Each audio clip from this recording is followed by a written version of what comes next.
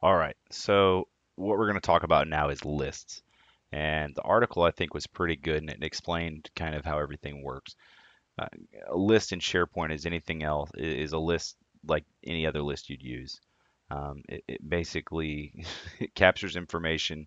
It's a collection of, of pieces of information, all of which have the same properties. And so I basically started off saying, when was the last time that you went to the grocery store? And for me, it's every every week or so and I showed you my grocery list. So you have a column uh, for title, description, price, and if you have a coupon. That's all there is to a list. Um, and basically, in any list, you have a bunch of column types. For instance, for title, it's just some text. If I added a new item, we, this might show it better. So I have my title, which I could put maybe um, paper towels. And that's text. And my description would be, you know, Brawny. Brawny. Yeah, there we go. And then price is, uh, description is text. Price is obviously a number. So if I can get three for a dollar seventy-five, I'm really happy. I don't have a coupon for that. But you'll see that I can't enter text into this into this field. If I saved it, it's going to say this is not a valid number. So I format that column to be a price or a number or currency.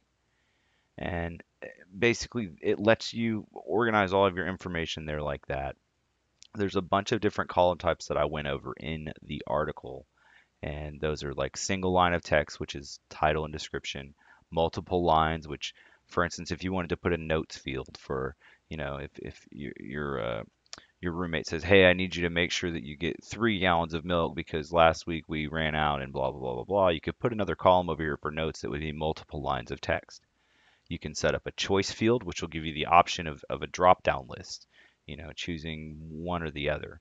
Um, if I actually go in and edit the list, you can see a choice field is similar to the yes and no field, because obviously they're both choices, but it, it would be a drop-down list similar to this. Yes and no is a specific kind of choice field. Um, if I do a number field, it's very similar to the currency field that we have here. Um, it just doesn't have a dollar sign and, and lets you use more than two decimal places. We also have date and time. Um, a lot of document libraries and lists, I've, pretty much all of them come with a modified and created date column. That's usually hidden, but you can show it, and we'll get into that when we go to views. But but you have date and time as an option. Um, you have a lookup column, um, which you can add. So if I had a, uh, a, a to-do list, I could say make sure you pick up and then have a column for make sure you pick up and then you would have a drop down that could reference something in this list. It's prob we're probably getting a little vague and, and very theoretical here, so we'll just move on from there. But a lookup is something you can look up from another list or library on the site. Uh, you have the yes or no box, like I explained just a minute ago, and like you see here on the coupon field, you can choose yes or no. Um, you have a person or group. I could add a group column and, and say assign to who's getting this. When we go to the store, I'm going to make Charles get the milk and eggs and I'll get the rest. And I can put his name in there and put my name in the other one. So you can look up a person or insert a person or group, whether it's a SharePoint permission group or it's an actual person in SharePoint, you can add them into that column. You can add a hyperlink or picture, which you can insert in there. So I could put a picture of the milk over here. You can do a calculated column. So we could have another column over here that if I have a coupon field, and if the coupon field is yes, I would put in um, another field for uh, the percentage off with the coupon, and then have a calculated field of the price field uh, times the coupon and do the calculation and give you the total price. Okay.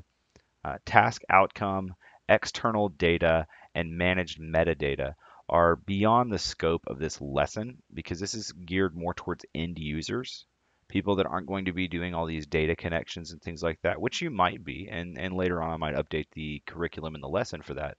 But for now, that's pretty much the scope of the of the article is just telling you about the columns.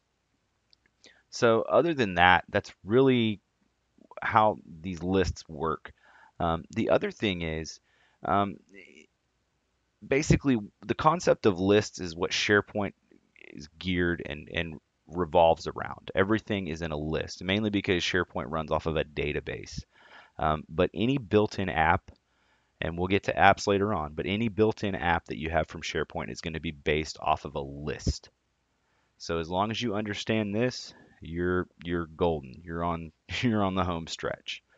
Um, the other cool thing about lists and libraries is that you can export them to Excel.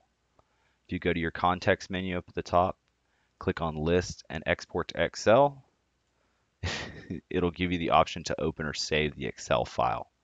So that's pretty cool too. So that pretty much sums up what lists are all about and how they work in SharePoint. Uh, take a look at the article for a little more clarification and be sure to check out our next lesson. Thanks.